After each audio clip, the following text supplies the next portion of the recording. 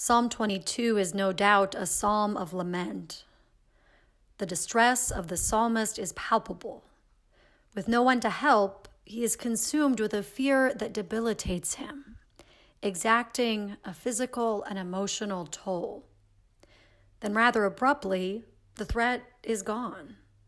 Those who conspired against the psalmist have been replaced by a loving, worshiping community.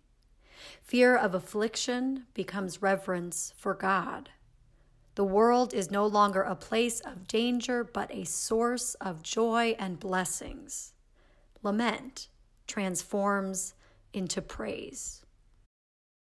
My God, why did you dump me miles from nowhere?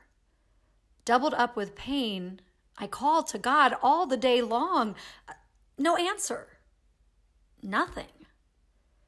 I keep at it all night, tossing and turning. And you, are you indifferent? Above it all? Leaning back on the cushions of Israel's praise? We know you were there for our parents. They cried for your help and you gave it. They trusted and lived a good life. And here I am, a nothing.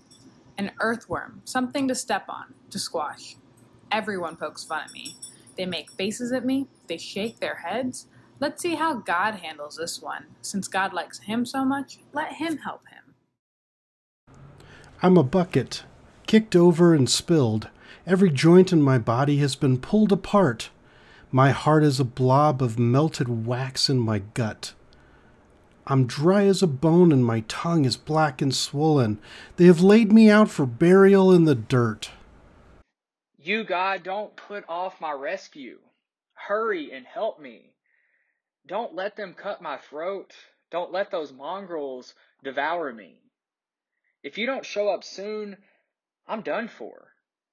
Gored by the bulls, meat for the lions. Here's the story I'll tell my friends when we come to worship and punctuate it with hallelujahs. Shout hallelujah, you God worshippers. Give glory, you sons of Jacob.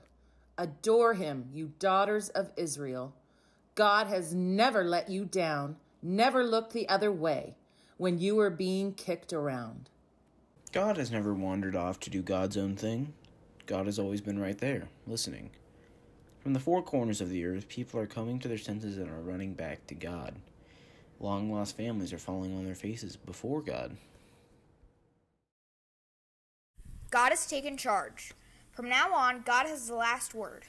Our children and their children will get in on this, as the word is passed along from parent to child.